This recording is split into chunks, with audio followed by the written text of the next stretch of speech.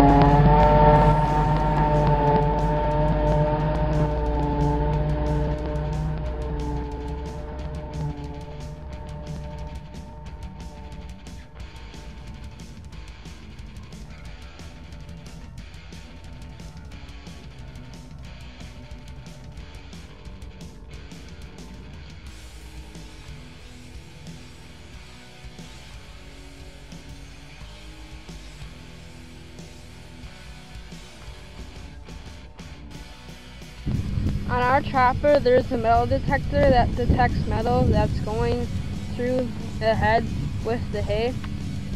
And so we found this metal in a wad of hay.